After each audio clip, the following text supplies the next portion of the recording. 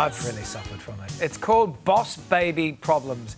And to tell us more, we're joined by the career expert uh, Sue Ellson in Melbourne. Sue, who thought that looking more youthful could actually do your harm, uh, do harm to your career? Tell us more. It's really hard to believe, isn't it? And sadly, this was happening 60 years ago at NASA, as we saw in the movie Hidden Figures. Mm. But it's one of those situations, particularly now again, where there's this huge rise in technology, where a lot of people who, as they get older, everybody looks younger, but they also realise they might not have those technical skills either.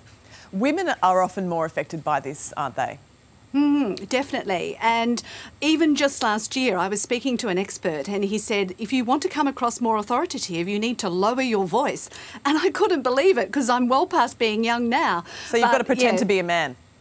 to be taken seriously. Well, this is what this guy said to me, and I just couldn't believe it. So, no, I don't plan to go down that path, but mm. it's interesting that that perception is still out there. But that, that's entrenched misogyny there. That just seems to be happening all through the workplace. So, if you do find yourself faced with this, mm. what can you do at work to help yourself progress?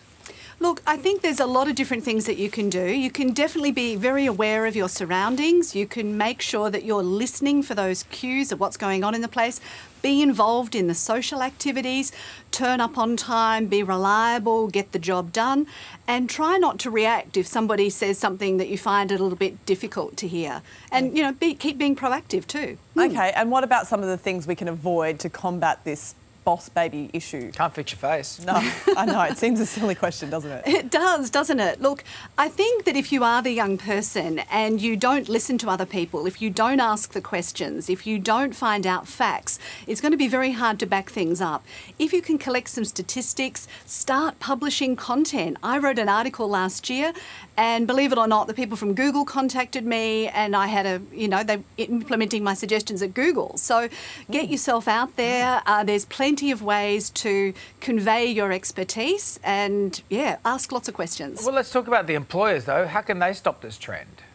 Well, I think multi age teams are really important. We've seen with the rise of TikTok, there's even videos being created with the young people applying for jobs online. And there's a lot of ways that you can, you know, get people together to ask them the questions, to get peer support, give them stretch tasks. There's lots of ways that that integration can occur and definitely give people, you know, let them remember what it was like to be young, have fun, smile, um, enjoy your time at work. I think those are all really important things mm. to do. Lots of good advice there, Sue. Great to chat to you as always. Thanks, Thanks so much Sue. for your time. Thanks.